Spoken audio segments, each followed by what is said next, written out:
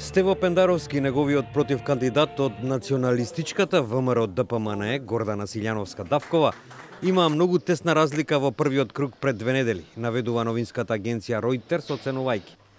Победата дава посилен ветер во едрата на владеачката коалиција која очекува да добие датум за преговори со Европската Унија во јуни и да стане 30-та членка на НАТО во наредната година. Ројтерс додава дека за разлика од Пендаровски, Силјановска Давкова е против промената на името, иако е исто така за влез во Европската Унија. Партијата која ја поддржа, ВМРО ДПМН, по гласањето ја обвини владата за изборен инженеринг, односно за подкупи и закана на избирачи. Ројтерс ја цитира и пораката на Твитер на аналитичарот од Универзитетот во Грац Флориан Бибер, кој вели дека изборниот резултат ја потврдува посветеноста на договорот за името со Грција.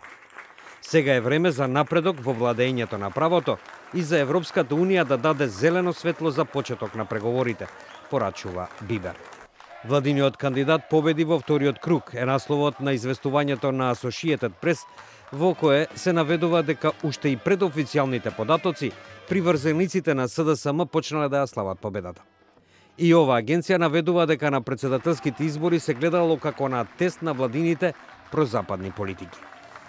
Северно-македонскиот прозападен кандидат прогласи победа против ривалот поддржан од националистите на прегласувањето, давајќи и потик на владата која подели јавноста со промената на името на земјата, пишува новинската агенција Франс Прес, додавајќи.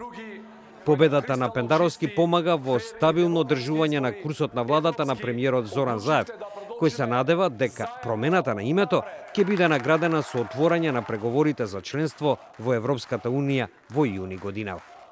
Германската новинска агенција ДПА пак наведувајќи дека Стево Пендаровски победил, подсетува оти тој го поддржува договорот со Грција, додека неговиот против кандидат Гордана Силјановска Давкова, како и сегашниот председател Ѓорги Иванов, се критични спрема договорот, но исто така сакаат влез на земјата во НАТО и Европската Унија.